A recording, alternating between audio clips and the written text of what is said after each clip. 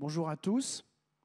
Merci d'être venus euh, pour ce débat qui s'inscrit dans le cadre de ces passionnantes journées organisées par euh, l'Institut du monde arabe, ces rendez-vous de l'histoire du monde arabe, qui cette année a pour thème euh, religion et pouvoir.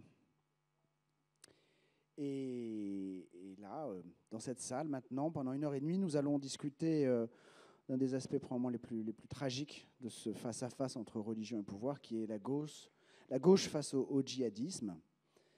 Euh, sujet grave, bien sûr, parce que euh, le djihadisme est un cauchemar pour les victimes, pour les familles.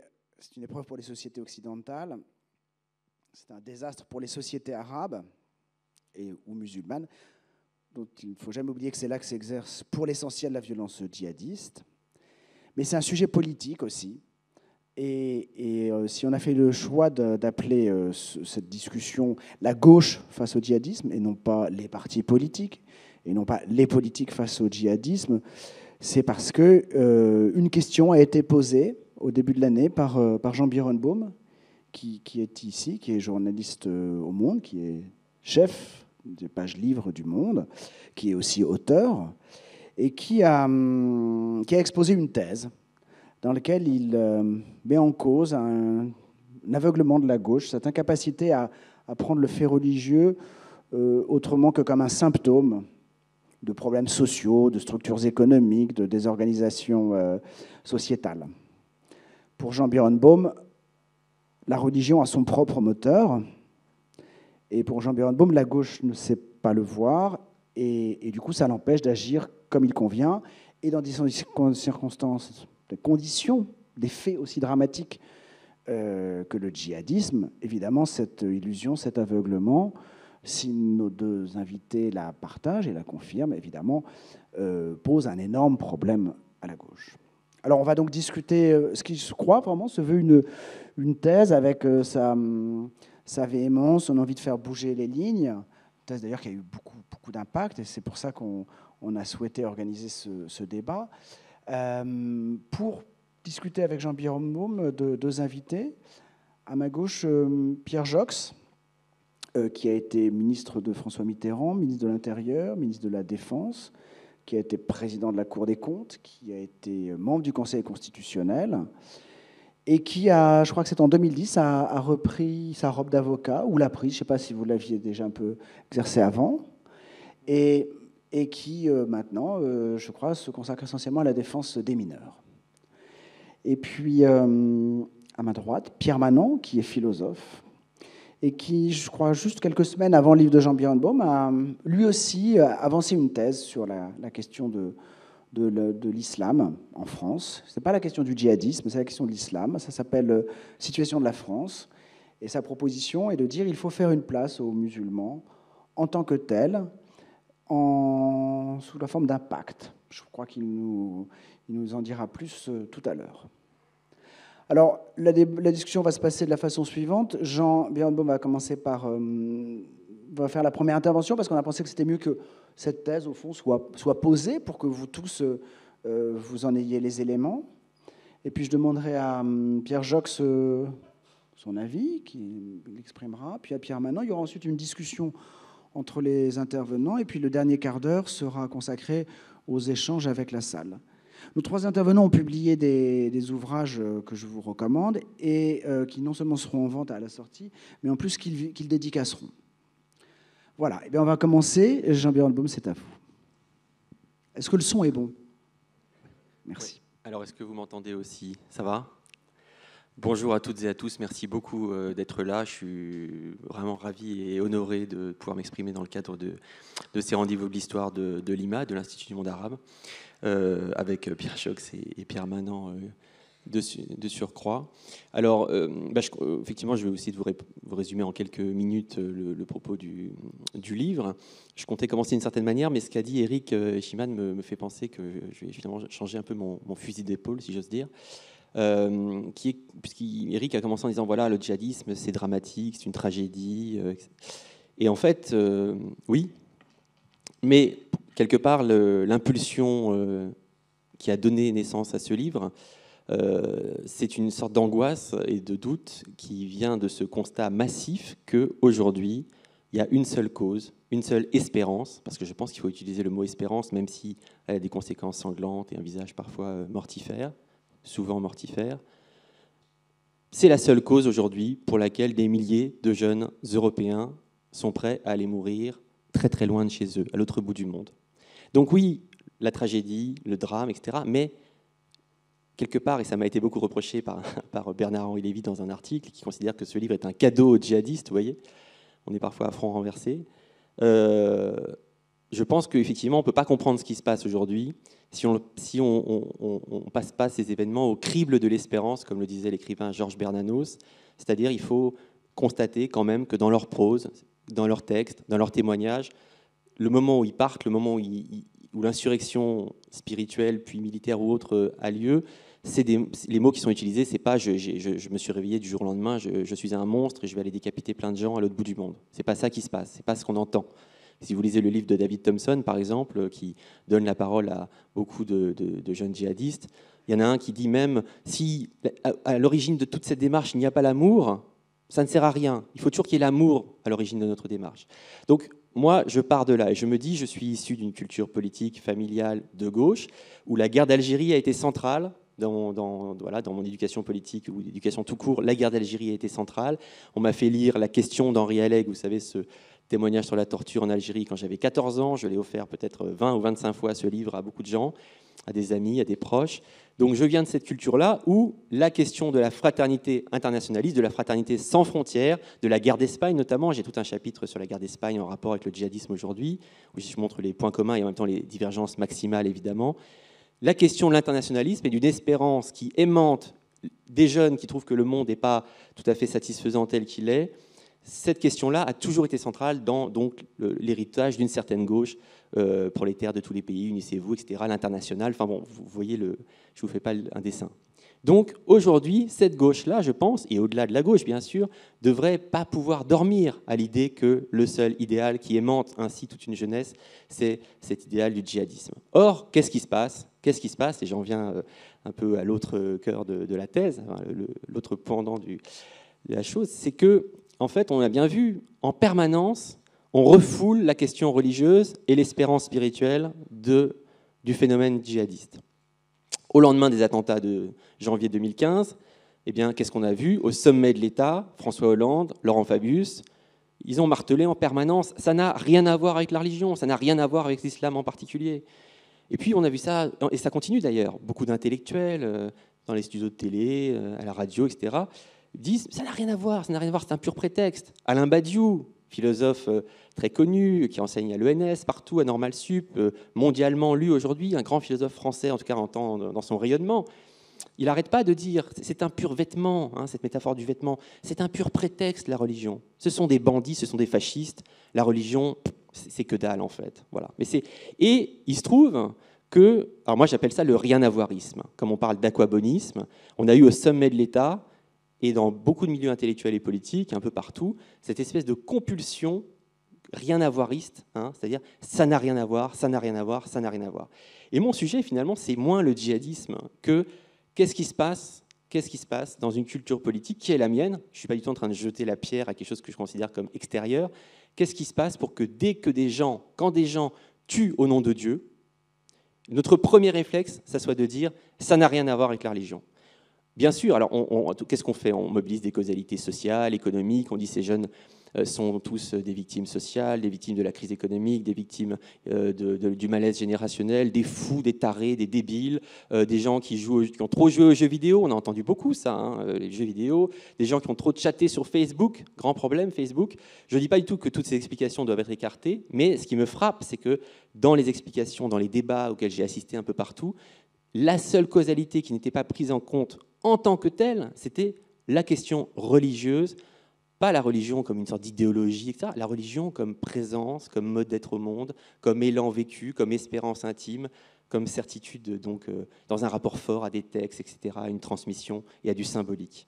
Ça, c'était toujours écarté. Et pourquoi c'est écarté? Mais parce que dans la culture politique dont je me réclame aussi largement, dans laquelle j'ai été élevé, la religion, c'est forcément le passé. C'est forcément le passé. C'est une sorte d'archaïsme, de, but témoin d'une époque révolue. Et toute une gauche, pas toute la gauche bien sûr, il, y a des, pans entiers de la gauche française qui ont été sensibles ou qui demeurent sensibles à la question religieuse, mais globalement, j'en ai parlé avec beaucoup de, gens et j'ai lu beaucoup de choses là-dessus, la gauche française en particulier s'est construite dans une sorte de fantasme d'éradication du religieux. Et donc, la religion, ça n'est jamais qu'une sorte de chimère, d'illusion qui est vouée à être dissipée par euh, le progrès, le bien-être, l'émancipation sociale. L'émancipation sociale que la gauche appelle de ses voeux, forcément, forcément, ça va avec l'éradication du religieux, l'effacement du religieux. Et ça, c'est problématique. C'est problématique parce que ça veut dire qu'on euh, a une sorte de, de, trou noir, de silence, et de silence fervent. C'est pour ça que j'ai appelé ça un silence religieux, parce que ce n'est pas seulement le silence à l'égard de la religion, c'est notre silence à l'égard du religieux qui est exalté, une sorte de, pulsion fervente. On est obsédé par voilà, la, foi, on n'y croit vraiment pas et on ne veut pas en entendre parler. Or, qu'est-ce qui se passe? Qu'est-ce qui se passe? Je pourrais en parler longuement, mais quelle est la conséquence? Il y en a plein des conséquences géopolitiques, financières, militaires, sécuritaires, tout ce qu'on veut. Mais la première des conséquences, c'est que quand on dit ça n'a rien à voir, ça n'a rien à voir, ça n'a rien à voir avec l'islam, mais en fait on poignarde dans le dos, pour dire les choses un peu violemment, tous les intellectuels musulmans, les théologiens musulmans, les simples croyants musulmans, qui savent très bien que ça a tout à fait à voir, que chaque religion euh, produit ses avatars meurtriers, ses caricatures sanglantes, ses, enfin, produits, voilà, ces, effets sanglants, ces réactivations politiques, qui se passent en même temps quelque chose d'un peu particulier dans le monde musulman aujourd'hui à l'échelle globale, à l'échelle mondiale, que ce monde-là est est, ravagé par une guerre civile interne, dont on a des nouvelles tous les jours, dans laquelle on est tous embarqués aujourd'hui, quel que soit euh, notre destin, en fait, nos, nos, sensibilités, nos origines. Et donc, ces intellectuels musulmans qui travaillent sur ce front interne, ou ces théologiens, ou ces simples croyants, juste qui, en vivant leur religion, savent très bien que ça a à voir et qui travaillent sur ce front interne à soustraire leur foi, leur spiritualité à tous ceux qui voudraient en faire une sorte de, de grimaces doctrinaires ou sanglantes, qui voudraient euh, réduire l'islam à un pur euh, euh, fanatisme, eh bien, on ne leur rend pas service en disant que le djihadisme n'a rien à voir avec l'islam. On leur rend vraiment pas service. Ce qui fait d'ailleurs que j'ai eu un effet un peu à front renversé pour de réception du livre. C'est-à-dire que moi, beaucoup de mes amis qui sont des sociologues, bourdieusiens, etc., m'ont dit mais ce livre, là, là, attention, c'est très très dangereux, tu vas nourrir les amalgames. Et au contraire, des gens comme Rachid Benzine ou des gens comme ça que, je cite beaucoup, euh, bon, et Mohamed Harkoun, bien sûr, des, plus vivants. Moi, je cite les, les morts et les vivants ces gens-là, ils, m'ont dit, bah, il fallait, qu'on affirme ça. Il fallait qu'on affirme ça. Donc c'est vraiment à front renversé. Et d'ailleurs, et je terminerai un peu là-dessus, c'est marrant parce que quand vous parlez de religion, dès que vous parlez, vous dites, il faut prendre quand même la croyance au sérieux. Au, nom de quoi? Au nom de quoi? Hein, euh, Un président de la République ou un ministre des Affaires étrangères peut dénier à un jeune qui se réclame de Dieu, qui passe son temps à citer des versets du Coran, à, citer, se réclamer de, révélations prophétiques, euh, d'anges protecteurs, au nom de quoi un président ou un ministre des Affaires étrangères ou un intellectuel peut leur dénier tout rapport à la foi qu'il proclame. Alors que finalement, si vous y regardez de près, ce qui rassemble tous les djihadistes, ce n'est pas une origine sociale, Hein, une certaine gauche pense que c'est tous des, paumés, euh, des, gens, des misérables, etc. Alors que régulièrement, on tombe sur des gens de très bonne famille, des fils de banquiers qui ont essayé de se faire sauter au nom du djihad. Donc ils ne sont pas tous, contrairement à ce qu'on voudrait croire pour se rassurer, des enfants euh, euh, de, la misère.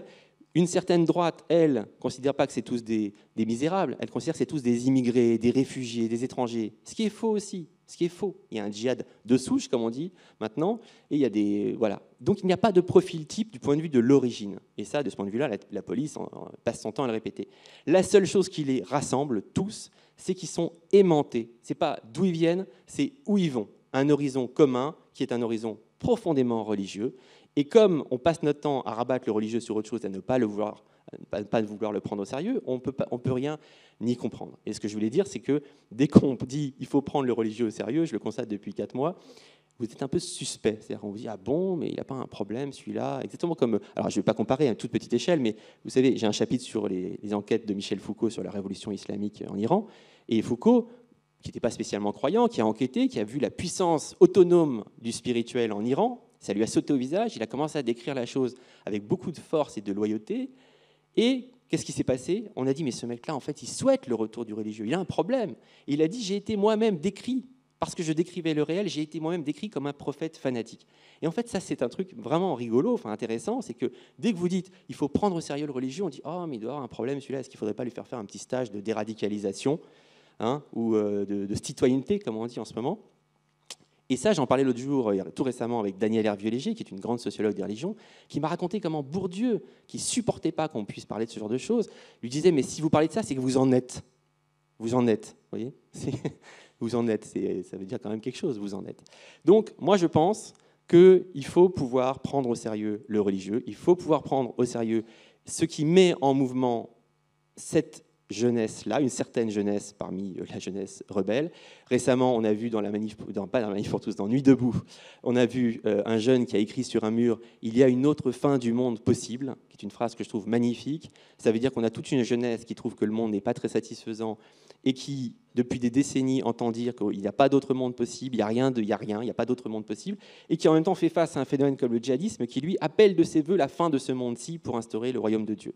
Eh bien, je pense que si on prend au sérieux le religieux, qui est, c'est une, autre conséquence, et je terminerai là-dessus, si on prend au sérieux le religieux, qui est par, essence une espérance sans patrie ni frontière, comme l'était l'internationalisme marxiste, eh bien déjà, on peut tout de suite se dire que ce n'est pas un printemps républicain, ce n'est pas les valeurs françaises, strictement françaises, etc., qui, sont la réponse. C'est forcément une contre-espérance, une autre espérance qui sera elle-même sans frontières, sans patrie ni frontières. Peut-être ce sera l'Europe. Il y a des très beaux passages de Derrida là-dessus que je cite sur la responsabilité particulière de l'Europe parce qu'elle a son expérience de désarticulation du religieux et du politique et qu'elle peut le réarticuler autrement, on ne fera pas face au djihadisme sans comprendre qu'il y a là une espérance très puissante et donc sans comprendre que face à lui, donc, il faut construire une contre-espérance sans patrie ni frontière qui aura en tête, qui aura en tête l'énergie religieuse qui a toujours irrigué euh, la politique euh, en tant que telle. Voilà, pardon, j'ai été un peu long.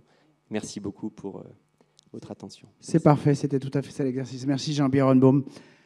Pierre. Alors Pierre Jox, votre euh, réaction, qu'est-ce que, vous inspire cette euh, proposition de Jean-Pierre Baume Qu'il y ait une espérance, bien sûr, mais que dans le cas du djihadisme, comme on dit, dans le sens de la vie courante, hélas, aujourd'hui en France, il y a surtout une désespérance. Je voudrais parler de ça d'abord. D'abord parce que parler de religion, faut prendre les religions au sérieux. Vous avez raison. Surtout lorsqu'elles s'expriment dans une langue qu'on ne pratique pas. Et par exemple, le mot djihad, c'est déjà une énigme. Djihad, c'est l'effort, c'est la lutte. Peut-être que c'est le combat de Jacob avec l'ange. Djihad, c'est un mot qui a beaucoup de signification, et pas seulement celle du djihadisme qu'on peut lire dans les journaux, qui est couvert de sang. J'ai récemment vu un jeune euh, prévenu. Euh, je suis avocat en effet, mais je n'ai pas repris ma robe. J'ai changé de robe. J'étais magistrat toute ma vie. J'ai pris une robe d'avocat. Elles sont d'ailleurs moins confortables que les robes de magistrat. Mais euh, un jeune prévenu qui me disait il n'y a pas très longtemps, je ne croyais pas ce qu'il me disait. Il me dit Je vous jure sur le Coran de la Mecque. Ah, je lui dis vous connaissez bien le Coran? Oui. Mais alors le Coran de la Mecque, le Coran de Médine, vous connaissez tout ça? Médine, c'est quoi Médine? Et ce garçon n'avait aucune connaissance sur l'histoire de l'islam, sur l'histoire de Mohammed, ni sur l'histoire du Coran, mais il jurait sur le Coran de la Mecque, parce que son, son espérance ou sa désespérance était axée vers le sentiment d'appartenance à une minorité opprimée, se rattachant au sentiment d'appartenance aux victimes anciennes du colonialisme, dont il n'était pas, puisque lui, il était un jeune Français né dans une commune de la région parisienne. À quoi peut servir la religion À toutes sortes de choses? En France, nous le savons particulièrement bien, puisque la France est un pays, parmi d'autres, mais un des pays où la violence d'une religion euh, contre les autres s'est exercée de la façon la plus sanglante pendant plus d'un siècle. Après la révocation de l'édit de Nantes, en France, le pouvoir d'État a martyrisé, déporté, massacré, torturé des quantités de citoyens français qui se croyaient citoyens français puisque l'édit de Nantes d'Henri IV avait décidé qu'on pouvait être français et, protestant, mais qui ont été pourchassés, beaucoup ont émigré, etc. Donc, euh, les rapports entre la religion, la violence et le crime, euh, on peut les trouver en effet dans toutes les religions. Mais là, quand je dis qu'il faut parler, prendre la religion, comment vous disiez, attacher de l'importance. Certainement, surtout lorsqu'en France, on est un pays où à la fois la religion a pu prendre ses formes extrêmes, et aussi la laïcité a pris des formes extrêmes. Quand le pape dit récemment, euh, le pape qui est un type plutôt sympathique, je ne suis pas fondamentalement un papiste, mais ce pape-là est plutôt sympathique. Quand il dit en France, vous exagérez la laïcité, je crois qu'il faudrait qu'il étudie un peu plus l'histoire de France. Pourquoi est-ce qu'en France, la laïcité a été, peut-être est encore exagérée? Parce que pendant très longtemps, la France était le pays dans lequel l'Église catholique romaine exerçait en fait un pouvoir politique indirect, à tel point que sous le Second Empire, par exemple, on appelait les évêques, enfin les républicains appelaient les évêques les préfets violets. Pourquoi? Parce que les évêques, dans leur robe violette, menaient les campagnes électorales pour les candidats officiels en donnant des consignes aux curés de campagne pour que l'on fasse gagner le candidat officiel. Donc la laïcité en France est une laïcité qui est très rapidement, très profondément a été pas seulement anticléricale, en vérité anti-religieuse. Et anti quelle religion? Anti la religion dominante et la religion principale de la France historiquement, c'est-à-dire la religion catholique romaine. Et les lois laïques qui ont été votées au début du siècle ont été votées après d'autres mesures de laïcisation de la France, c'est-à-dire l'école publique, mais toujours dans une atmosphère de combat contre, alors contre quoi? Contre l'Église catholique ou contre la religion? Cette ambiguïté-là fait qu'en France, euh, on confond souvent euh, religion et cléricalisme. Et qu'à l'égard de l'islam, dont le professeur Manon parlera mieux que moi encore tout à l'heure, il est vrai que la France a un passé colonial si puissant, un passé de férocité coloniale si marqué, qui s'est exercé si fortement dans des pays fondamentalement musulmans, qu'il y a une sorte, malheureusement, d'assimilation entre laïcité, anti-religion et anti-islamisme. J'ai été frappé de voir que dans le discours que Hollande a prononcé à l'éloge de Jules Ferry, il a pris la précaution de dire, euh, vous savez, ça avait choqué pas mal d'entre nous, parce que Jules Ferry, c'était un grand colonialiste. Le débat entre Clémenceau et Jules Ferry sur la colonisation, c'est un morceau d'anthologie.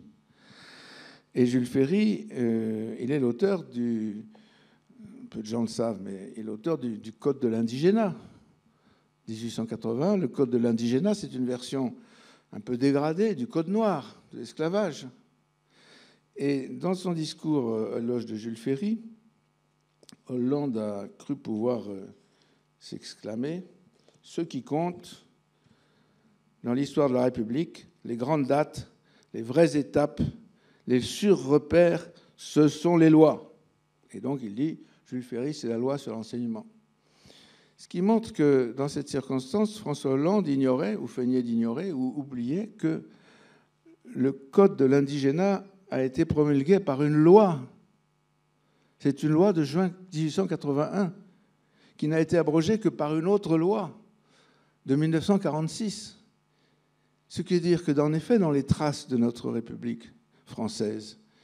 Il y a la tradition colonialiste et qui est une tradition qui, entre autres, a été une tradition qui a lutté contre l'islam, là où il était. Et comme Césaire euh, le disait un jour, qu'est-ce que c'était que le colonialisme? C'était la destruction de civilisations préexistantes, tête de pont dans une civilisation de la barbarie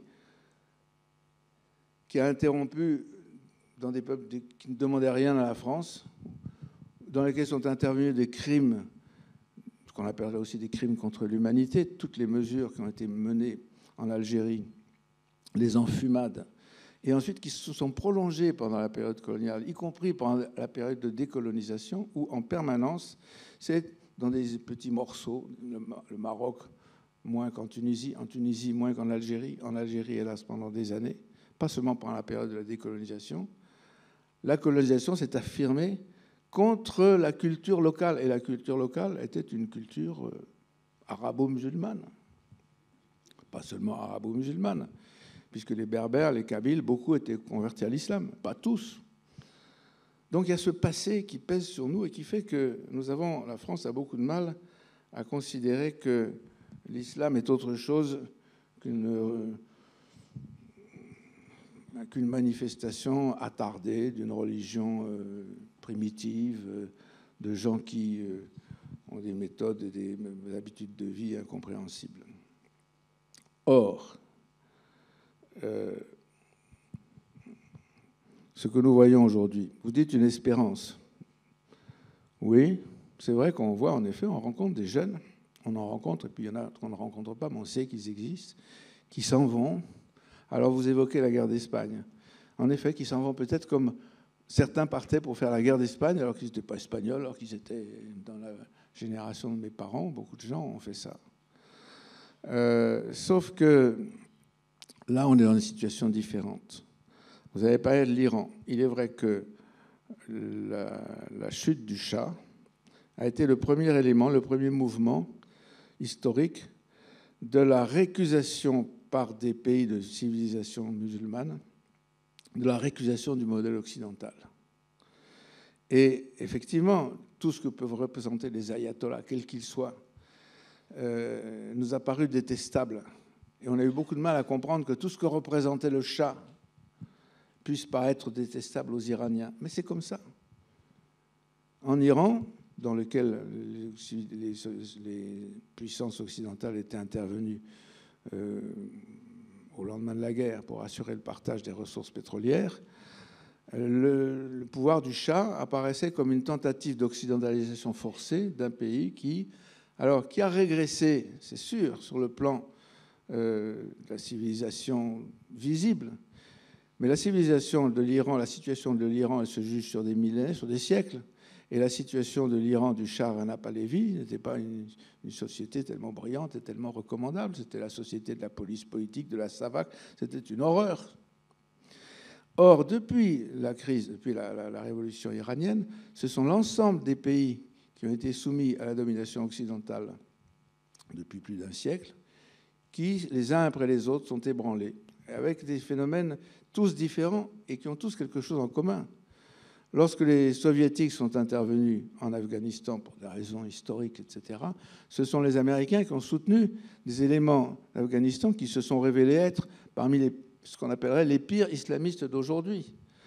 Lorsque on a découvert tout ce que les Américains ont déclenché en Irak avec la deuxième guerre du Golfe, etc., on, retrouve toujours l'intervention, le choc, non pas, je ne dis pas le choc de civilisation, pour moi, ce n'est pas un choc de civilisation, mais de choc entre des intérêts économiques qui voulaient, dominer les régions productrices de pétrole et des populations qui étaient toutes, d'une façon ou d'une autre, à un moment ou une autre, avaient été victimes du partage du monde par les puissances occidentales. Et ceci, malheureusement, je sais, il y a un, écrivain, il n'y a pas beaucoup d'intellectuels encore qui se sont risqués à critiquer ou à mettre en cause la politique suivie par le gouvernement actuel en matière militaire. Mais Hesbourg, qui a une certaine expérience dans ce domaine, euh, qui vient de publier un livre qui s'appelle Comment perdre la guerre contre le terrorisme. Il parle de la guerre de 30 ans qui détruit et reconfigure le Moyen-Orient. Nous assistons de loin à une guerre peut-être de 30 ans qui détruit et reconfigure le Moyen-Orient. Le Moyen-Orient, c'est-à-dire tout ce qui était par exemple l'Irak, une partie de l'Empire ottoman, la Syrie, une partie de l'Empire ottoman, qui avait été donnée en mandat, on l'oublie souvent, à la France la France avait le mandat de la Société des Nations d'amener la Syrie à la démocratie. Au lieu de ça, on a bombardé les, on a bombardé les patriotes syriens, on a commencé à disséquer la Syrie.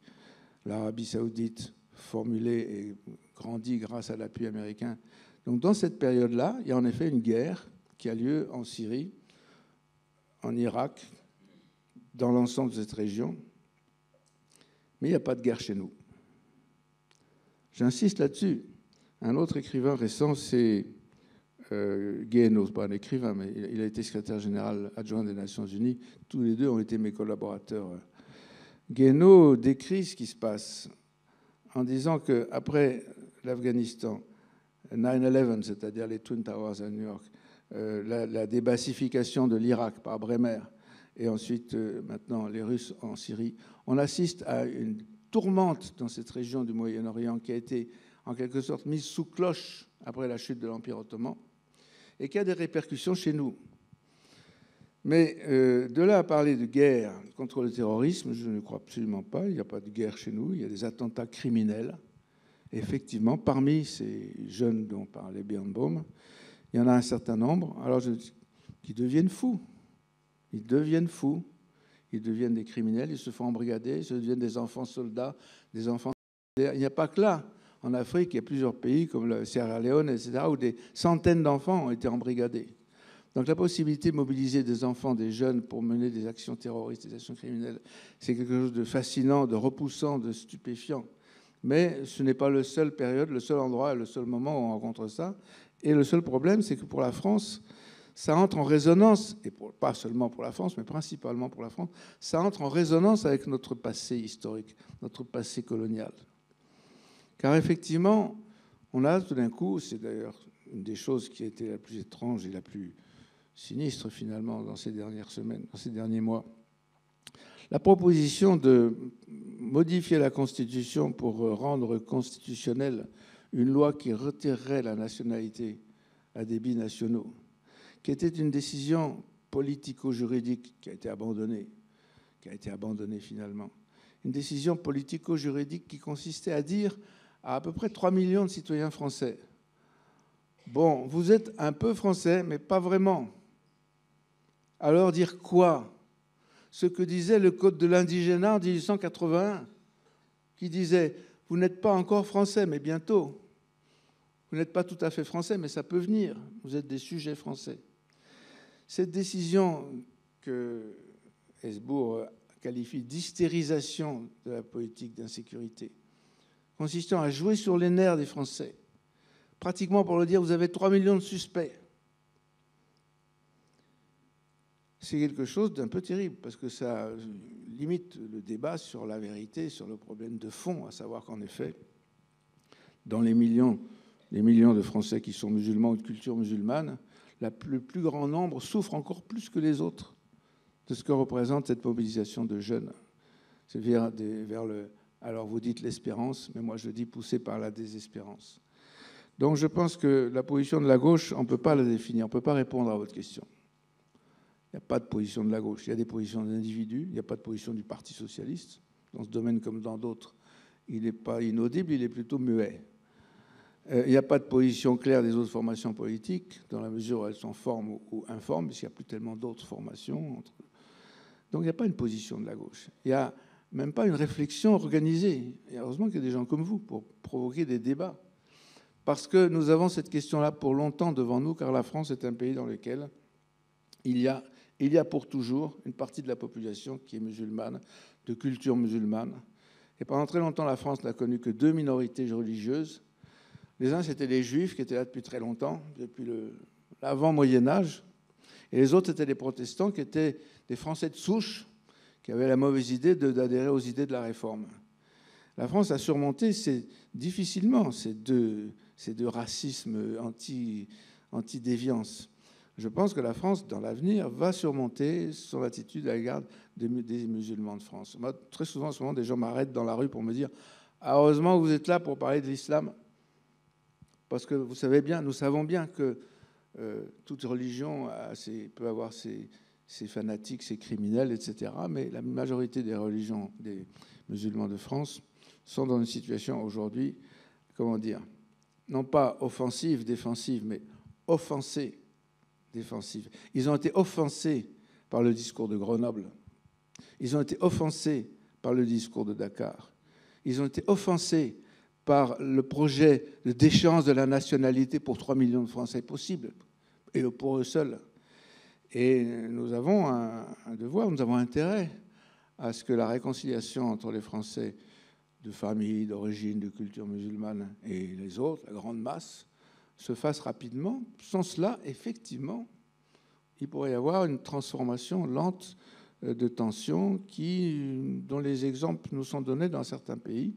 Mais je pense que des colloques comme ceux d'aujourd'hui peuvent montrer que euh, l'attitude à l'égard du djihad doit s'appuyer sur euh, les deux sens du djihad.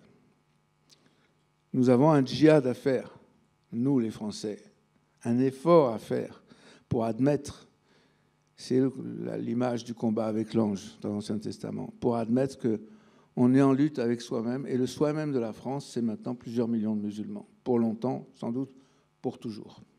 Merci Pierre Jackson. Pierre Manon. Alors.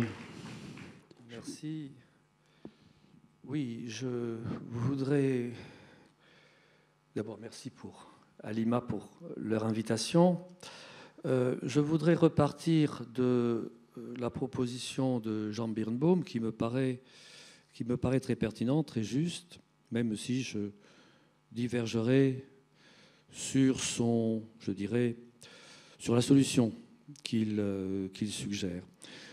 Jean Birnbaum a dit très justement qu'aujourd'hui, disons, sinon le djihad, du moins l'adhésion passionnée à l'islam est dans nos pays la seule cause collective euh, dans nos pays, c'est-à-dire dans des pays vides de toute autre cause collective. Et donc, je voudrais euh, partir de là. Euh, pourquoi avons-nous tant de peine à saisir la religion, à la prendre au sérieux, comme dit Jean Birnbaum, à tenir sur elle un discours qui puisse en faire un objet, je dirais, naturel, normal de la conversation civique? Ce n'est pas seulement, il l'a mentionné, parce que nous sommes sous l'empire d'une représentation progressiste de l'histoire, qui postule que l'humanité avancée est sortie de la religion. Euh, ce n'est pas seulement non plus parce que notre régime est fondé sur la séparation du politique et du religieux, et que dès lors, à nos yeux laïcs, la religion n'a pas à apparaître dans la conversation civique, puisque elle relève exclusivement de l'intime de la conscience ou de la sociabilité privée. Ces deux raisons sont présentes, elles ne sont pas suffisantes pour expliquer notre situation. Une raison que je mettrai au premier plan, c'est que aujourd'hui parmi nous, le principe de toute légitimité et même de toute moralité, c'est le principe des droits de l'homme compris comme droit de l'individu, c'est-à-dire, disait Marx, de l'homme séparé de l'homme. Et que donc nous avons beaucoup de peine à saisir la religion comme fait collectif, comme modalité de l'association humaine, comme cadre d'attachement passionnel.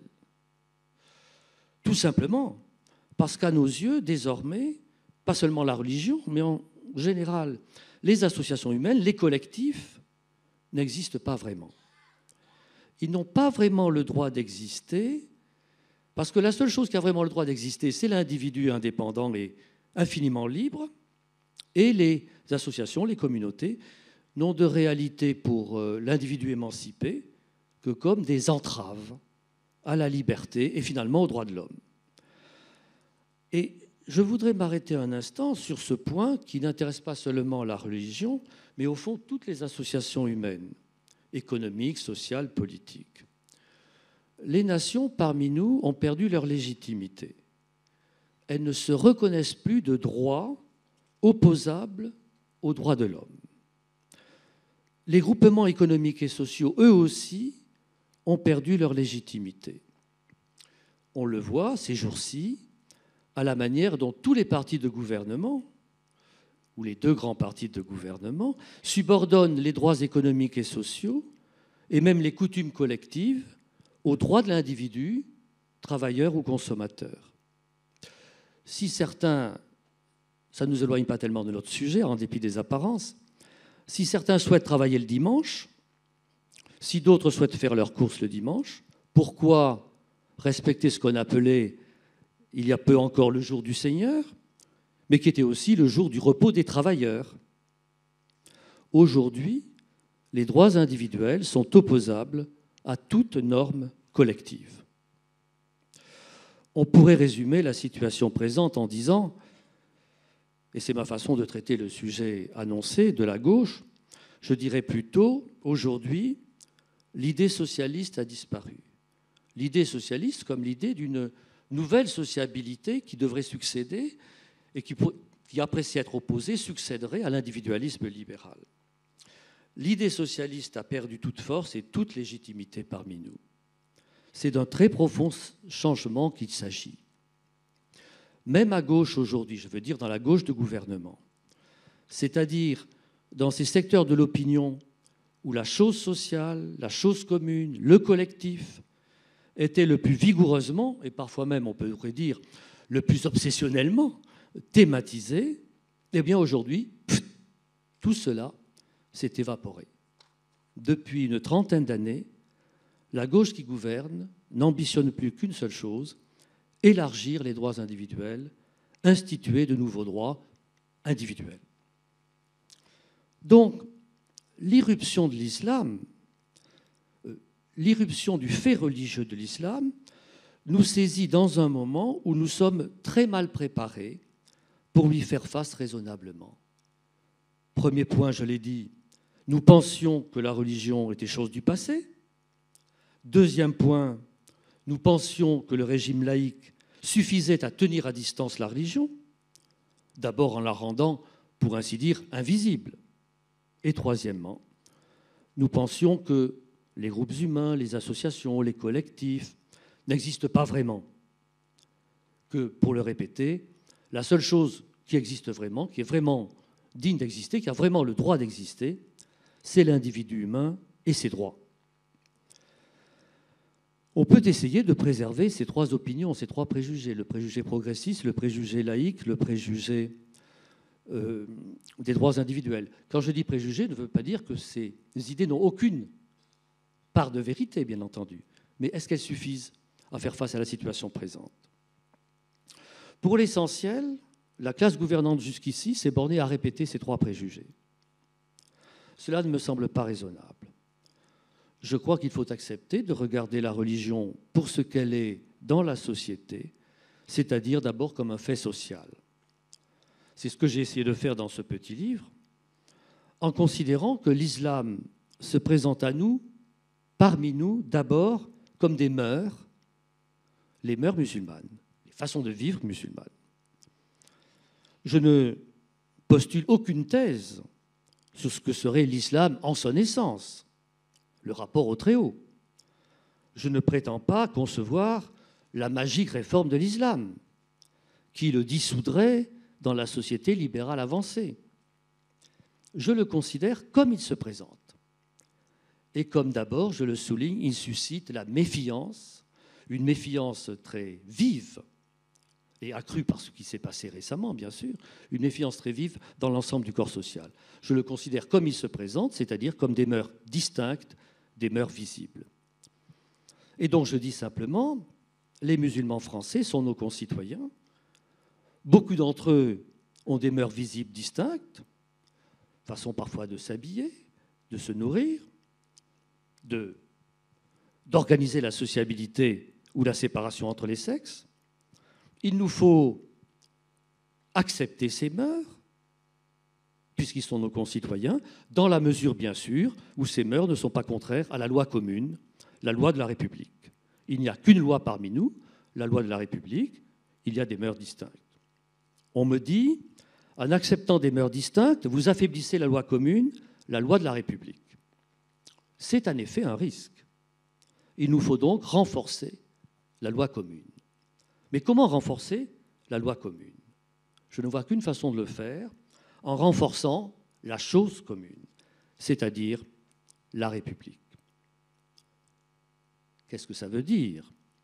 La République, ce n'est pas les valeurs de la République dont notre classe politique est si énamourée, qui ne, font que répéter les droits de l'homme séparés de l'homme, les droits de l'homme individuel.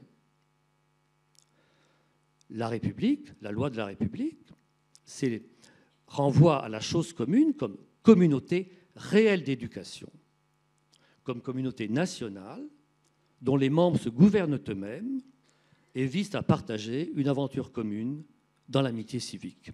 C'est le seul point où je, me, je, discuterai avec Jean Birnbaum.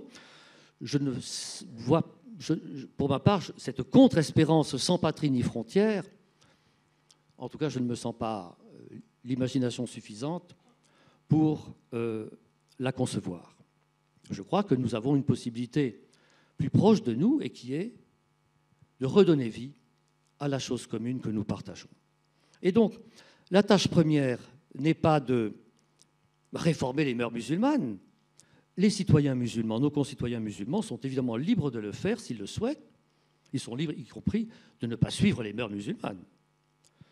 La tâche première est plutôt d'encourager leur participation à la vie politique, à la vie civique, c'est-à-dire aussi celle des non-musulmans, puisque c'est seulement par la visée d'une chose commune, d'un bien commun, par-delà des mœurs distinctes, visiblement distinctes, que l'on surmontera les risques bien réels de fragmentation du corps social et civique. Bien entendu, et je termine sur ce point, ce que je dis de l'objectivité du fait musulman, du fait social musulman, ce n'est pas une exclusivité musulmane. Cela vaut aussi pour les autres associations humaines, en particulier pour les autres religions. Leur réalité aussi doit être reconnue par une certaine visibilité dans l'espace public, une certaine visibilité dans l'espace public dont nous avons perdu l'habitude en raison d'une interprétation, on en a parlé, disons, extrêmement rigoureuse de la laïcité. Mais cette visibilité désirable des religions dans l'espace public ne signifie pas que l'on abandonne la laïcité. La neutralité de l'État et en général des institutions publiques et de l'éducation publique n'est pas le moins du monde mise en cause. Mais je crois que nous sommes confrontés à la nécessité d'une démarche inédite, d'une certaine conversation, négociation entre les différents groupes sociaux et spirituels de notre pays, et donc y compris entre les religions, et entre les religions et toutes les associations dans lesquelles la vie commune se ramifie. Depuis 30 ans ou plus, nous sommes envoûtés, sidérés et, je le crains, parfois aveuglés par une certaine idée exagérée des droits individuels, de sorte que nous avons largement perdu de vue les collectifs dont nous sommes encore composés. Occupés à nous émanciper de toutes les contraintes liées aux associations, aux normes communes, ce sont aujourd'hui des individus tout nus, et bien entendu, certainement les candidats au djihadisme sont des individus particulièrement nus et exposés. Ce sont des individus tout nus qui se trouvent exposés aux défis intérieurs et extérieurs qui nous assaillent. Et donc, la démarche que j'esquisse et que je recommande nous aiderait, je dirais, à nous soucier de nos ressources collectives, à les mieux connaître et à y puiser avec une raisonnable confiance. Elle nous aiderait à nous mieux connaître, tous tant que nous sommes. Effort, me semble-t-il, qui est aujourd'hui tout ce qu'il y a de plus urgent à un moment où nous ne savons plus comment nous représenter comme être collectif comme association humaine, comme tout simplement comme la France et les Français. Merci Pierre Manant.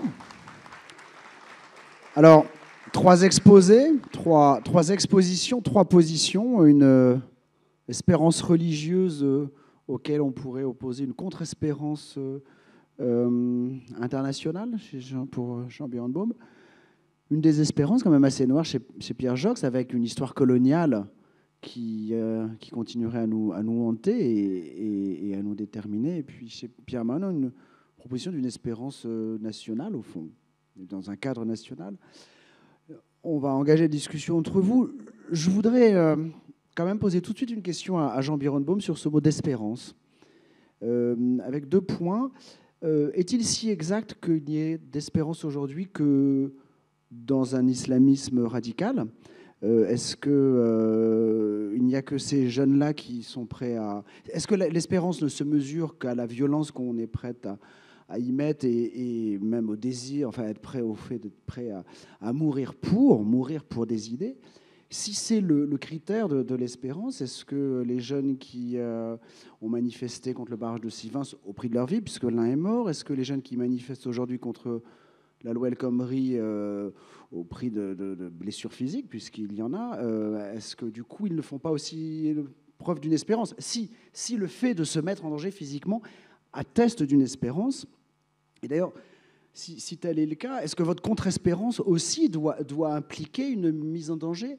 Et est-ce qu'il ne faudrait pas scinder en deux en disant que dès lors qu'il y a euh, mise en danger et violence, on n'est plus du côté de l'espérance? Au fond, le, le terrorisme d'extrême gauche des années 70, euh, n'était pas perçu par les gens de gauche comme était prise au sérieux, mais n'était pas perçu comme un, mouvement d'espérance. Donc cette jonction entre l'espérance et, la violence est-elle aussi euh, euh, serrée que vous le, posez? Euh, écoutez, merci pour la question. J'étais très impressionné par les, exposés précédents. mon propos à moi n'est pas de dire qu'il n'y a que le djihadisme comme espérance. Hein. Effectivement, c'est de dire que le, le, djihadisme est la seule espérance au nom de laquelle des milliers de jeunes européens sont prêts à aller mourir à l'autre bout du monde, comme c'était le cas effectivement euh, au moment de la guerre d'Espagne, qui est un peu le sale cas comparable. Moi, j'ai travaillé un peu là-dessus. J'ai regardé, je pensais que par exemple, au moment des. Vous voyez, le, il y a tout un mythe euh, internationaliste autour de, enfin pas un mythe, une réalité euh, autour de l'Amérique latine, etc. dans les années 70. En fait, c'est, ça n'est absolument pas comparable. Il y a aussi, c'est vraiment c'est une poignée de gens qui sont allés se battre réellement euh, là-bas.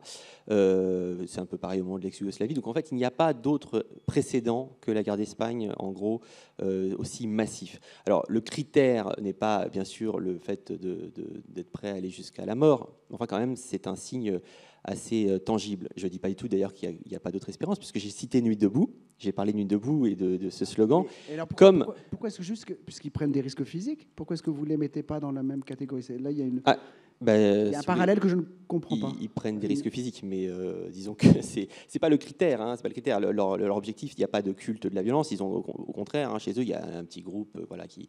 Mais disons qu'il y a toute une réflexion sur la violence. Les gens de Nuit debout sont pas du tout dans le même euh, état d'esprit que les jeunes djihadistes. Et voilà, il n'y a pas du tout de culte. Ils n'ont pas. Les djihadistes ont pris une décision à l'égard du réel.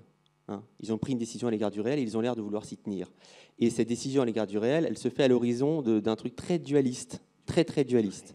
C'est-à-dire, euh, Christian Jambet d'ailleurs, qui est islamologue, en a très bien parlé, dès le début des années 2000, on est vraiment dans ce choc, euh, cette lutte finale euh, de, des, oppresseurs et de ceux qui vont, et des rebelles. Et, et, toutes, les, toutes les vidéos, tous les textes ont un truc extrêmement... ils ont hâte d'en finir. Ils ont hâte d'en finir. C'est pas qu'ils font face à la police. Ils ont hâte d'en finir. Eux, ils ont hâte d'en finir avec une certaine avec la politique telle que l'Occident l'a pensée. Effectivement, vous avez dit l'Iran, c'est un moment où on essaie de se débarrasser du modèle occidental. Là, on est dans un moment où euh, il y a la volonté violente et radicale d'en finir avec la politique telle que l'Occident l'a pensée, avec l'histoire.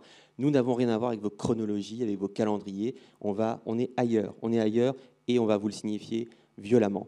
On est là et et si vous voulez euh, la question c'est pas euh, comme Pierre Jacques disait, où il n'y a pas de position de la gauche. Non, non, mais moi, ma question, c'est pas la position du Parti socialiste ou de telle organisation. Ma question, c'est qu'est-ce qui, à gauche, fait silence sur le religieux et qu'est-ce qui, à gauche, et ça rejoint, vous allez voir, l'aimantation et la question de l'espérance et de la violence, fait que à chaque fois, hein, que ce soit tous les moments que je prends, la guerre d'Algérie, la révolution en Iran, etc., à chaque fois, la gauche roule les mécaniques, est persuadée d'avoir la vérité de l'histoire, euh, et se dit que finalement, bon, euh, les opprimés empruntent un petit détour religieux, mais comme on l'a dit tout à l'heure, c'est forcément quelque chose qui appartient au passé, c'est une but de témoin. Il y avait un grand manuel de marxisme dans les années 70 qui disait c'est un vestige mal résorbé, la religion.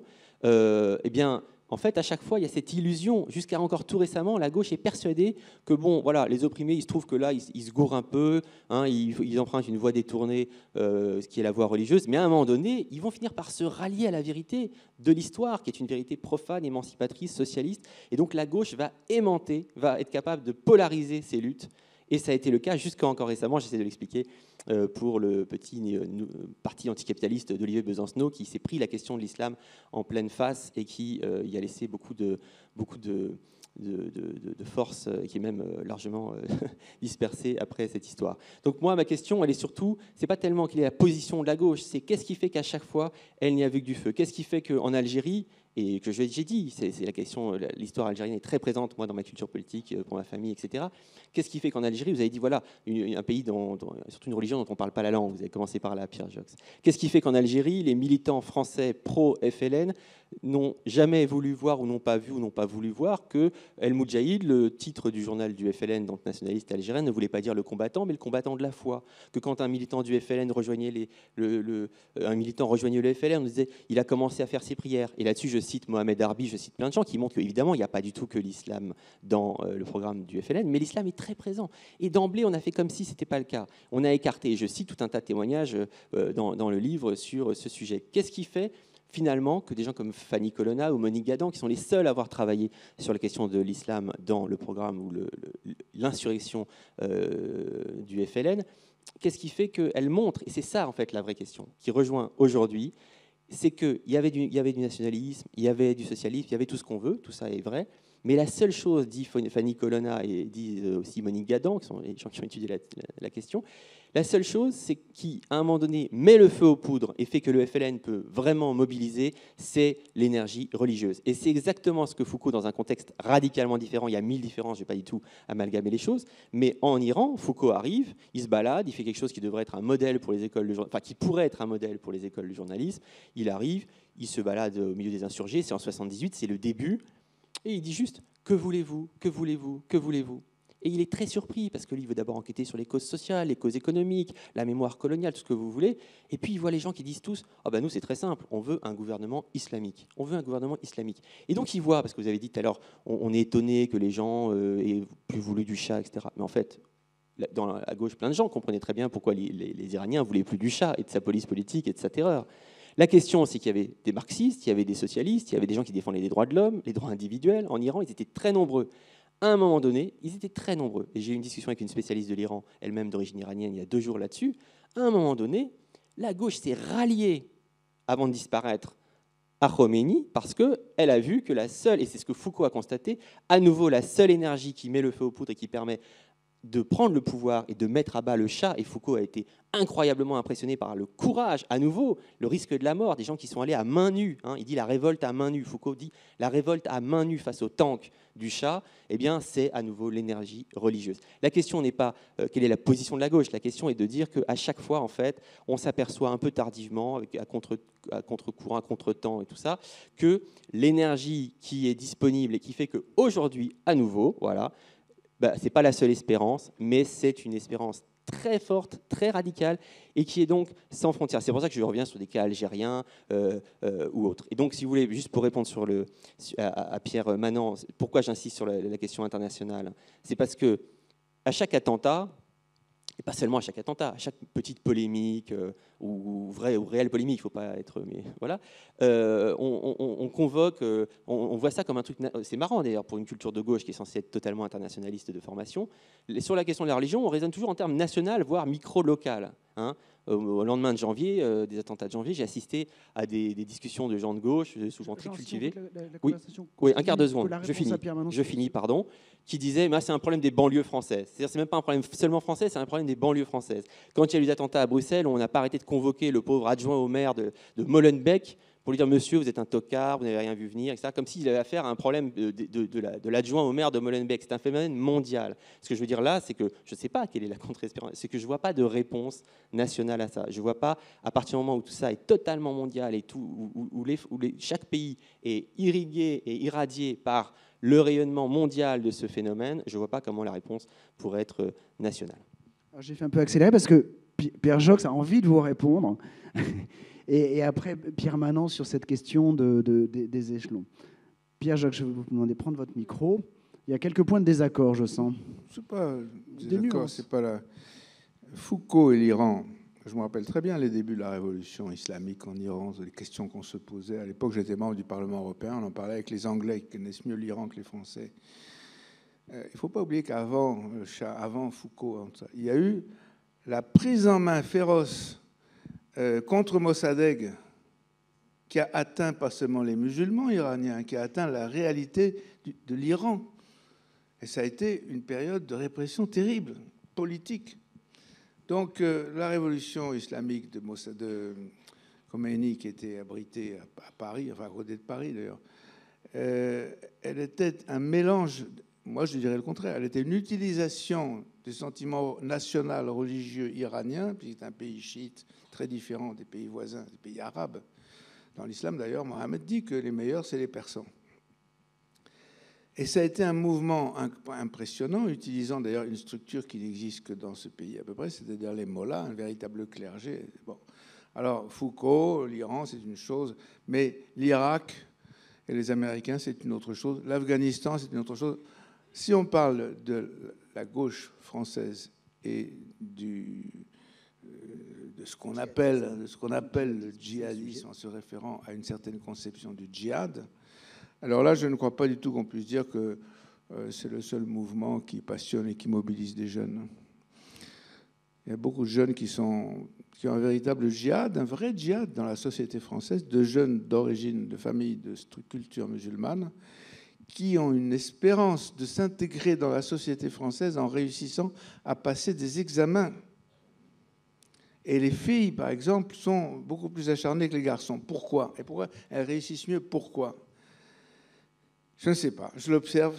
J'observe qu'il y a une, puissance dans certains quartiers, dans certaines régions de la France, en particulier dans la région parisienne, une espérance incroyable qui est au contraire, euh, euh, qui n'est pas une espérance suicidaire, qui est une espérance de vie, de réalisation, de progrès. Et là où je suis bien d'accord avec le professeur Malan, c'est que si la société française accueille, encourage ce genre d'aspiration, d'espérance, eh bien, elles se réaliseront. Mais quand vous avez un département comme la Seine-Saint-Denis, dans lequel il y a plusieurs milliers d'enfants qui ne peuvent pas entrer à l'école, quand vous avez des régions entières de France, il n'y a pas que dans la région parisienne, il n'y a pas que dans la Seine-Saint-Denis, où le déficit d'enseignants est tel qu'effectivement des enfants de pauvres, qui sont tous des enfants d'origine postcoloniale, de familles qui sont parfois des familles comme on dit, monoparentales, de gens qui sont les pauvres d'aujourd'hui, ont l'impression que la société ne les accueille pas, que l'école ne les forme pas, ne les reçoit pas, ne les reconnaît pas. Alors oui, ils peuvent être détournés vers une espérance qui est une espérance folle, consistant à aller participer à quelque chose qui n'est pas la guerre d'Espagne, mais qui est une autre guerre, en effet peut-être une guerre de 30 ans. Mais je crois qu'il faut regarder en effet l'attirance vers le djihadisme, entre guillemets, une partie de la société française comme un phénomène social, qu'il ait des bases religieuses, culturelles évidemment, c'est un phénomène social. Et ça, euh, tant qu'on le nie, évidemment, il y a Valls qui dit Ah oui, oui, oui, commencez à étudier les causes sociologiques et ça, et c'est déjà excuser le crime. Alors, quand un Premier ministre de la France considère que réfléchir, c'est déjà être complice des criminels, c'est très embarrassant. la réalité, quand on observe la réalité, comme, je ne suis pas le seul à pouvoir interroger le nombre de travailleurs sociaux dans ces zones, de familles désespérées, quand il y a une famille, souvent la famille se résume à une mère, de jeunes désespérés, au contraire de jeunes qui ont des espoirs. Pourquoi? Parce qu'il y a des inégalités sociales, socio-culturelles, l'accès à l'école, l'accès à la connaissance, l'accès à l'école, pouvoir rester à l'école ne pas être stigmatisé parce qu'on habite tel quartier. Donc ça, une partie de ce djihadisme, il a cette origine-là. Alors pour le reste, moi je connais un peu l'islam, j'ai vécu une partie de mon enfance en Algérie, j'ai un rapport à l'islam peu commun chez les Français, j'ai beaucoup d'amis marocains. Euh, l'islam est une religion que je connais un peu, que je respecte beaucoup, et qui pour moi n'a pas plus de rapport avec le prétendu djihadisme que je ne résumerai pas... Euh, comment dire, je ne résumerai pas la Bible aux dragonnades. Voilà. Merci Pierre Jox. Euh, peut-être d'abord Pierre Manon ou un mot Jean, Jean Bironbaum, mais il faut aussi que la discussion sur la question de l'échelonnation se, se, fasse. Mais un mot quand même, parce parce qu'on est peut-être quand même au cœur du sujet. Non, mais bon, je ne vais pas le répéter. Euh, je, veux pas, je me suis sans doute mal exprimé. Je n'ai jamais dit que le, djihadisme était la seule espérance aujourd'hui en France. C'est pas du tout mon propos. non, non, j'ai dit que c'était la seule espérance au nom de laquelle des milliers de jeunes Européens sont prêts à aller mourir à l'autre bout du monde. C'est très particulier. C'est beaucoup plus euh, précis. Euh, il y a plein d'autres espérances. Vous avez parlé de l'espérance scolaire. oui, tout à fait. Voilà, moi, j'ai été éduqué dans un milieu où on parlait que de ça, des stigmatisations, du racisme, des discriminations ethniques, du post, de, de, la mémoire coloniale. J'ai commencé par là, sur la guerre d'Algérie et d'autres choses. Donc je, suis très sensible à ça. Je pense que on se gourre en fait totalement, mais c'est pas grave. Enfin, si, ça peut être grave, enfin, on peut en tout cas avoir envie de ça. Si on réduit les choses tout le temps à des questions sociales, j'ai dit tout à l'heure, il a, il y a, mille exemples, il il y a mille exemples, et on le dit tout le temps, hein, on le dit tout le temps. Euh, il y a mille exemples de gens qui ne sont pas du tout issus de milieux défavorisés, etc., qui sont des gens, euh, voilà, des fils de, banquiers qui ont fait les plus grandes universités anglaises et qui essaient de se faire sauter au nom du djihad, etc. Donc, euh, bon, alors, oui, il y, a, il y mille explications pour moi, c'est un grand problème. C'est-à-dire même, vous avez commencé par dire, par parler de ce jeune prévenu en disant, voilà, il jurait sur le Coran, etc. Mais en fait, il n'y connaît rien. Coran de la Mecque, pardon, oui. Mais vous avez dit, il n'y connaît rien. Bon, ça vous...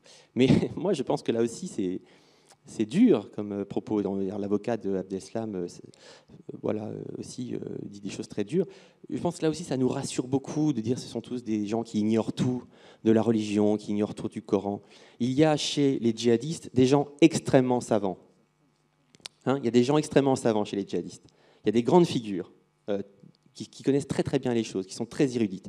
D'ailleurs, de ce point de vue, euh, des gens comme euh, Gilles Kepel et bien d'autres constatent, David Thompson aussi, enfin beaucoup, Romain Caillet, constatent que le niveau monte. Hein, il y a eu toute une polémique pendant des années entre Alain Finkielkraut et Baudelot sur le fait que le niveau baissait à l'école. Il faut les rassurer, il faut rassurer Alain Finkielkraut. Chez les djihadistes, au moins, le niveau monte. C'est-à-dire que, en fait, sur le style, comme dans l'écriture, dans l'écriture, comme sur le niveau théologique, rassurez-vous, le niveau monte.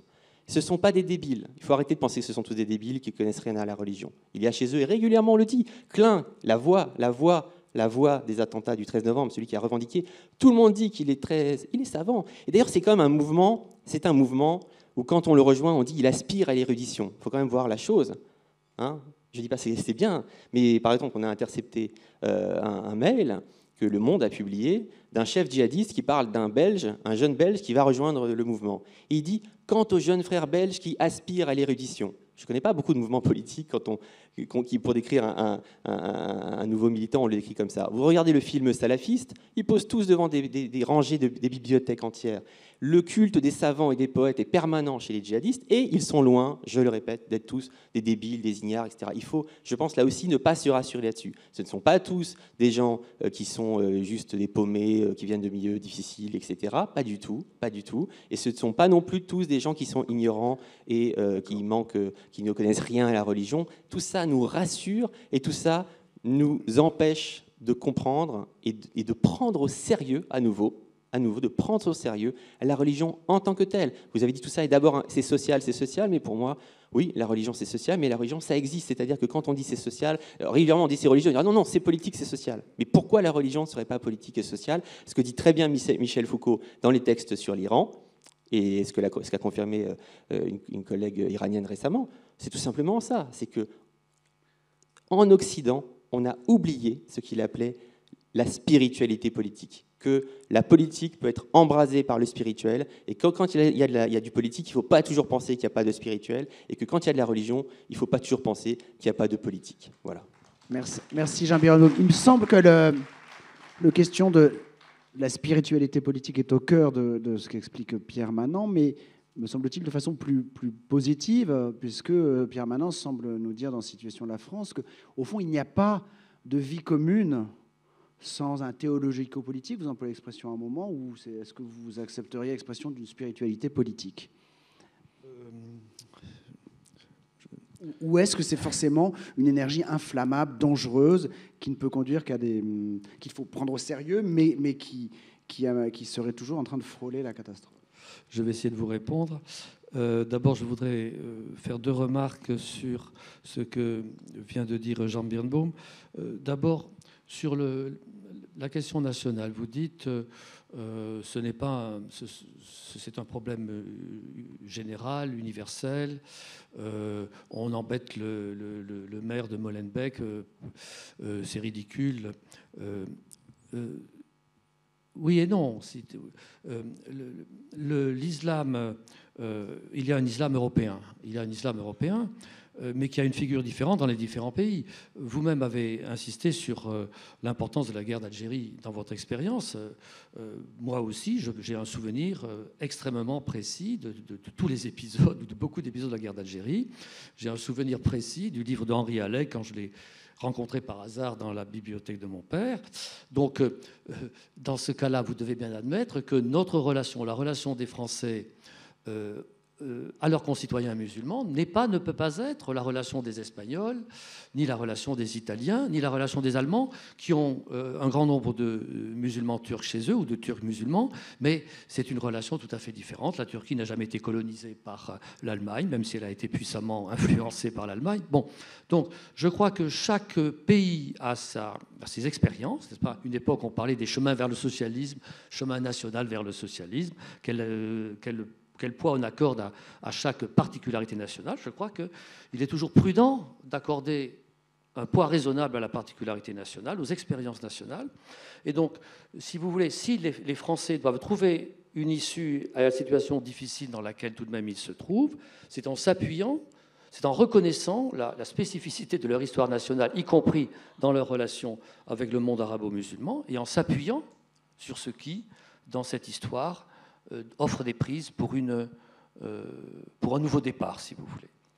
Euh, sur la question de l'espérance, c'est une question passionnante, très difficile à, saisir. Il y a une espérance théologale, c'est une vertu théologale selon la, théologie catholique. Il y a une espérance politique. Machiavel dit que c'est la vertu politique par excellence, l'espérance. L'espérance, dit-il, dans ses propres forces. Et c'est là que, que j'introduirai une distinction il me semble que, en effet, je crois que Jean Birbon a raison de dire que aujourd'hui, il y a très peu d'espérance dans nos propres forces, dans nos pays. Il y a des espérances dans les processus. Je dirais que euh, la mondialisation, la construction européenne, une bonne partie euh, des Européens instruits ont mis leur espérance dans ces, grands mots, mais dans ce qui est des processus c'est-à-dire des choses qui vont se développer nécessairement quoi que nous fassions. Et que donc ce qu'on nous demande, c'est d'adhérer à ces processus qui de toute façon sont plus forts que nous. Et ils mettent leur espérance dans les bons effets de ces processus. Et ça, je crois que c'est l'espérance qui domine, je dirais, la classe politique, la classe euh, dirigeante de, nos pays. Euh, mais encore une fois, c'est une espérance non pas dans notre action, mais dans ce qui de toute façon se passera indépendamment de notre action. Et notre action n'a qu'une seule chose à faire, si j'ose dire, c'est suivre, obéir à la nécessité. Et donc il y a très peu d'espérance dans une action commune qui ne serait pas simplement de tirer les conséquences des processus. Une action qui, qui produirait du, bien ce que vous appelez de vous, qui produirait du nouveau. Oui. Alors et c'est là que je retrouve, je rencontre votre question de la spiritualité politique, de la nation. De... je, crois que nous sommes tous, tant que nous sommes, euh, droite-gauche confondus, euh, en tout cas droite de gouvernement, gauche de gouvernement confondus, et même bien au-delà, euh, nous, sommes, nous sommes prisonniers d'une paralysie acquise, si je peux dire, et qui a été décorée du beau nom de regard lucide sur le monde, n'est-ce pas? C'est-à-dire, le regard lucide sur le monde nous amène à conclure que nous n'avons aucun pouvoir sur nos conditions d'existence. Et donc je crois que la tâche commune qui traverse tous nos, toutes nos entreprises, toutes nos, tous nos partis, toutes nos tendances, euh, toutes nos opinions, il me semble, c'est de, de, de, cristalliser quelque chose comme une espérance dans une action commune. Alors, euh, pour des raisons que j'essaie d'expliquer, moi, personnellement, je pense que le cadre le plus raisonnable, le plus le plus proche, le plus plausible, celui qui réclame le moins d'hypothèses euh, hasardeuses, ça reste le cadre national. Voilà. Le cadre national, non pas pour une réédition d'une euh, France déjà définie dans le passé, d'une formule française qui serait une identité française qui ne réclamerait que de se prolonger et éventuellement en écartant euh, tout ce, le nouveau qui voudrait s'y introduire, mais d'une redéfinition, d'une refondation qui nécessairement réclame une mobilisation spirituelle au sens large, c'est-à-dire des vertus. Alors, euh, il y a les vertus théologales, n'est-ce pas, la foi, l'espérance et la charité. Euh, elles peuvent se décliner en vertus politiques, euh, espérance politique, fraternité ou amitié civique, et puis alors la foi, je dirais, l'élaboration d'un objectif commun, d'un bien commun. Et je, personnellement, compte tenu de la gravité des, d'une part, des divisions qui, rongent notre pays et du sentiment de, paralysie, de découragement que nous, éprouvons tous et que, euh, disons, la classe politique, que je ne veux pas accabler, mais le moins ce que l'on puisse dire, c'est qu'elle ne nous encourage pas à, espérer dans nos propres forces.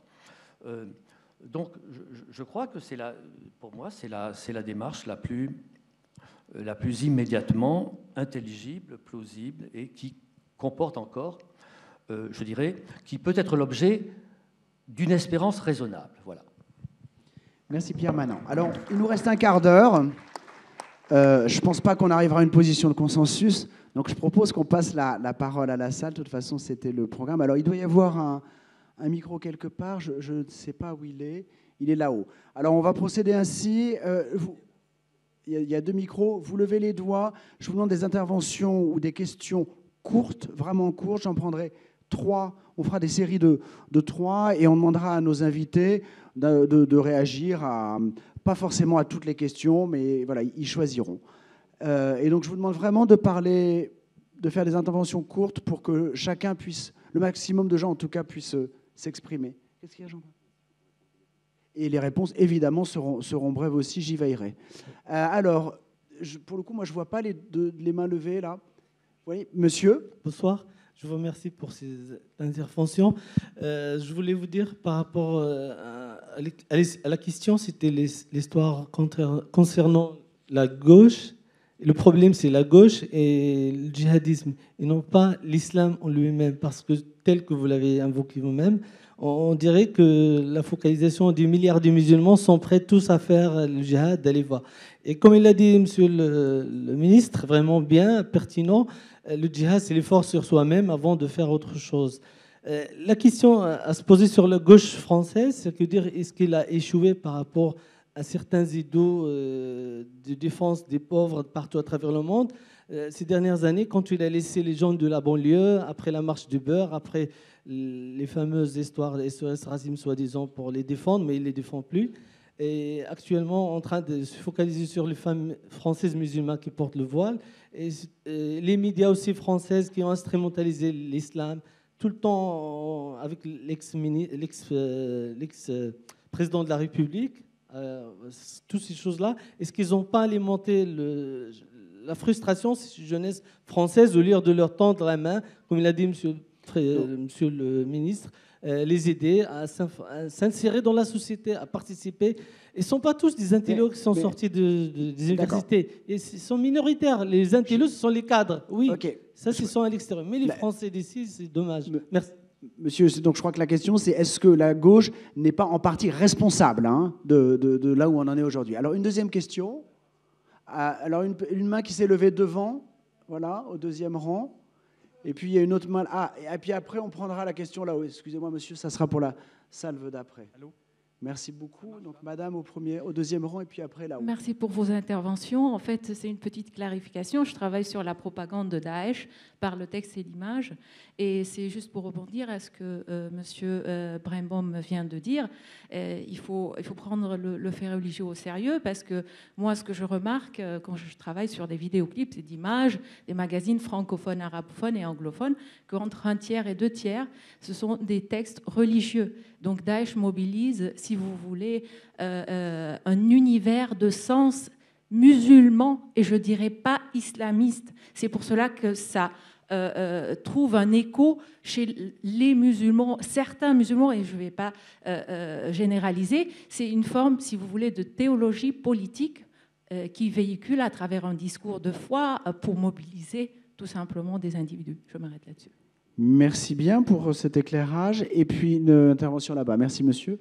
Merci. Bonsoir. Moi, je m'adresserai à Jean Birnbaum quand les choses sont en train de se passer, elles peuvent évoluer de mille et une manières. Une fois qu'elles sont terminées, on n'en voit plus qu'une seule. C'est ce que disait Jacques Berck, il est très facile de prévoir l'advenu. Je trouve que quand vous dites qu'il y a une mésestimation ou une sous-estimation du religieux, ça n'existe pas uniquement pour la gauche.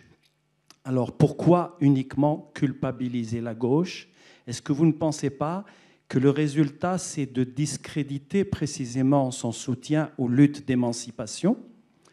Et par conséquent, il y a une essentialisation dans ce que, dans ce que vous traitez de l'islam.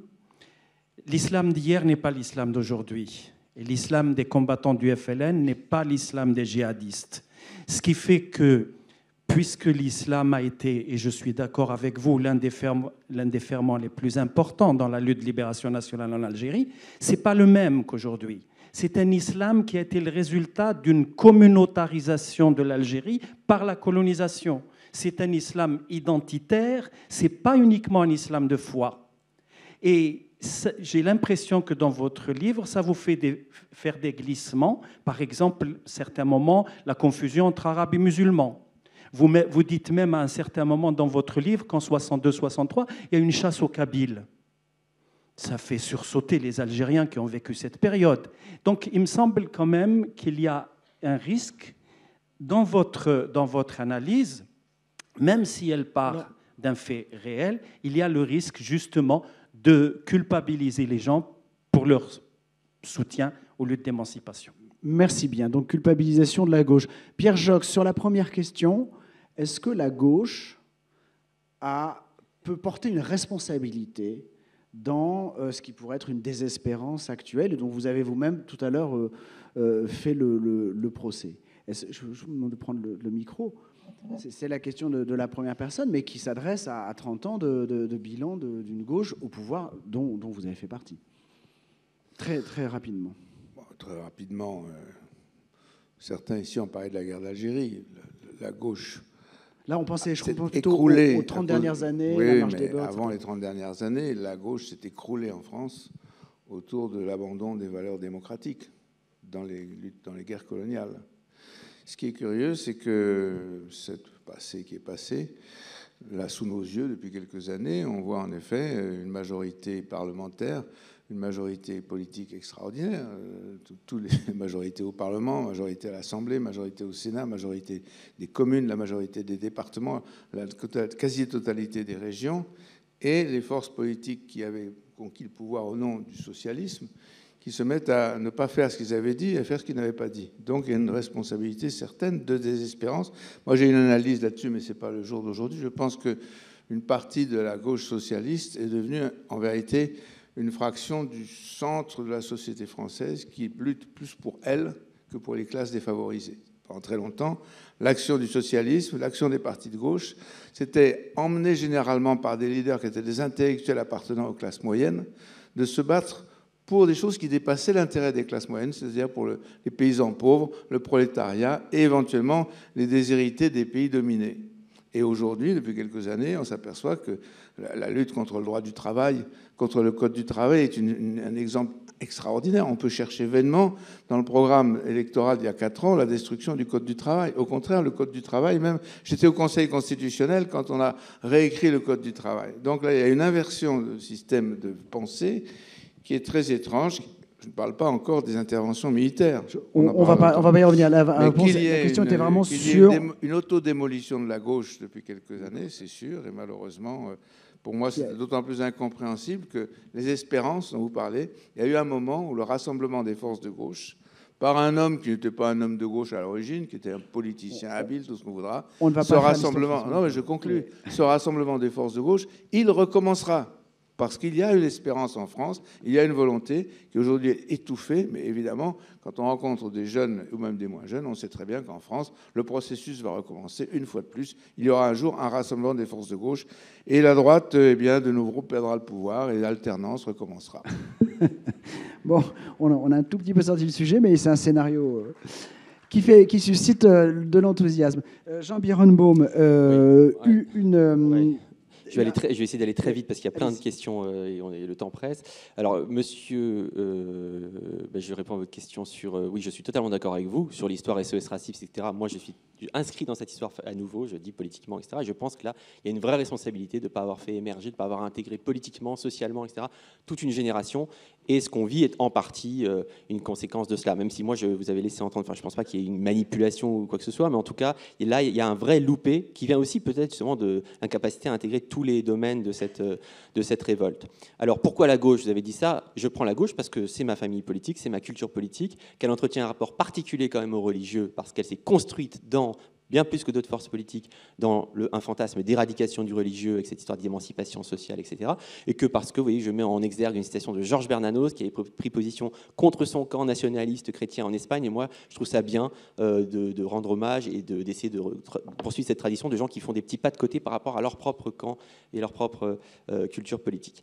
Pour ce qui est de, et ça rejoint d'ailleurs la question euh, de monsieur tout en haut à gauche, je vous remercie pour votre lecture précise et, et critique. moi, je, le but n'est pas du tout de culpabiliser la gauche sur les guerres, son soutien aux, forces, d'ailleurs pas toute la gauche, parce qu'il y a toute une gauche qui n'a pas du tout soutenu les forces anticolonialistes.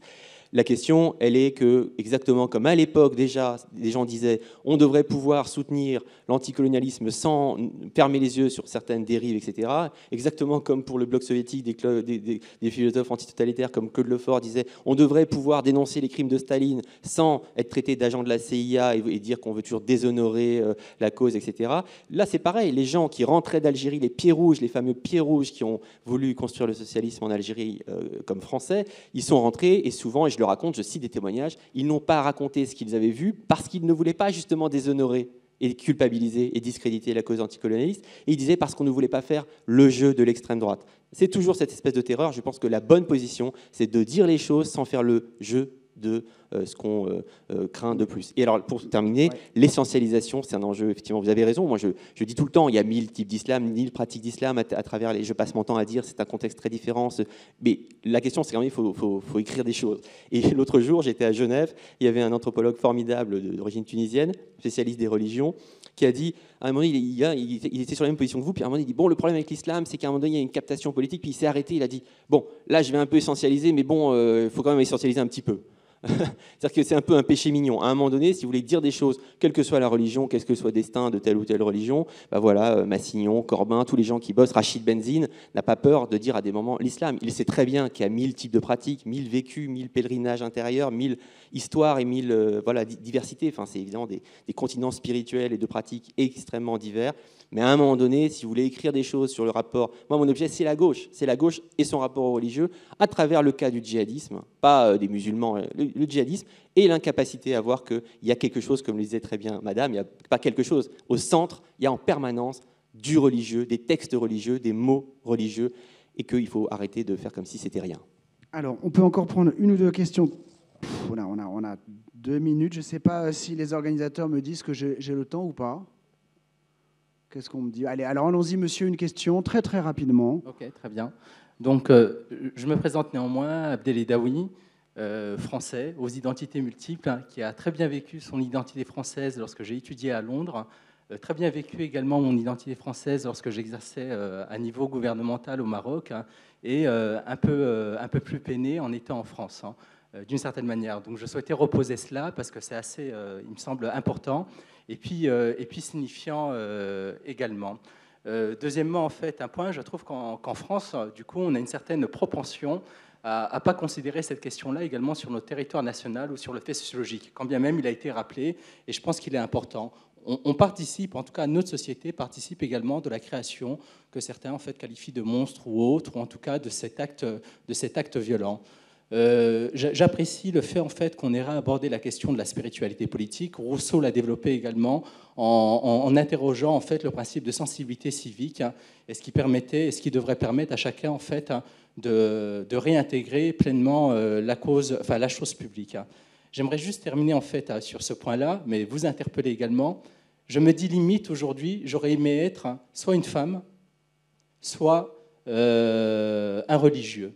En somme, en fait, je crains que sur la focalisation de nos débats, sur la manière en fait d'aborder soit la question de la diversité, du religieux, du politique en fait, hein, ou de l'inscription politique en fait des personnes issues de la diversité, on ne se focalise que sur les deux points-là. Et je ne crains en fait hein, que nous, nous assistions d'une certaine manière à une émasculinisation de toute personne supposé d'origine maghrébine, supposé également en fait euh, de religion musulmane et qui aspirerait à s'inscrire autrement dans la société française, d'être reconnu pleinement. Donc l'espérance, oui, mais au-delà de l'espérance, il y a véritablement un souci de reconnaissance et une capacité des uns et des autres à s'inscrire dans une réciprocité réelle. Et je trouve que les propos en fait d'Édouard Glissant sont éminemment intéressants sur ce sujet-là, sur les principes de créolisation également. Nous avons en fait des apports éminemment brillants et on s'en termine. Voilà, j'ai terminé. Merci à vous. Alors on va terminer par ces mots parce qu'il n'y a, y a, plus, a plus de temps. Là, on est vraiment à, à, 16, à 17h30. On m'a demandé de, de, de terminer vraiment à ce moment-là. Je remercie la salle, je suis désolé. Hein. Je remercie la salle, je remercie de nous avoir écoutés, je remercie nos invités pour ce débat, Pierre Jox, Pierre Manant, Jean Bironbaum. Je vous rappelle que vous pouvez les retrouver à la sortie parce qu'ils dédicaceront leurs livres et je recommande tous leurs livres. Enfin, à, chacun des trois, il y a vraiment des choses formidables à lire. Et euh, je vous donne rendez-vous pour la suite euh, de débat euh, de ce rendez-vous d'histoire du monde arabe. Merci, au revoir. Merci à vous toutes et à tous. Merci beaucoup. hein. Merci.